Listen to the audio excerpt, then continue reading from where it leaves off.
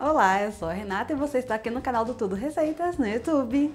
Se você adora sorvete, vai curtir a nossa receita do dia. Eu vou te ensinar a fazer essa calda de morango para sorvete caseira e super rápida.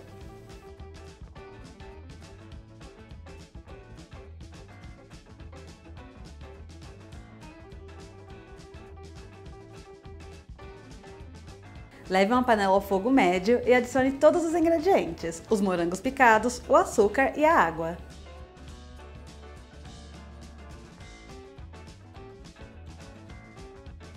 Misture bem e assim que o açúcar derreter, abaixe o fogo e deixe cozinhar até formar uma calda, mexendo de vez em quando. Isso levará em torno de 20 minutos. Simples assim, agora é só esperar esfriar completamente e servir a sua calda de morango em seguida. Fez essa receita em casa? Conta pra gente nos comentários e se inscreva no canal porque toda semana tem receita nova por aqui. Até o próximo vídeo. Tchau!